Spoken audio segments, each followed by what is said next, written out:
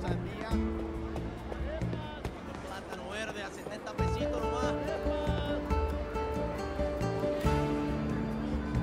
¿Quién quiere empanada? Mierda. No quiero ir allí abajo. ¿Empanada? ¿Quiere una empanada? Guarepa, ¿qué quiere? Tengo que ver cómo tomar la billetera. Yo le dije que, que, bueno, que nos miramos a tomar un cafecito ahí. Bien. Está justo en su bolsillo. Ahora o nunca. Parece que tenemos tiempo de sobra.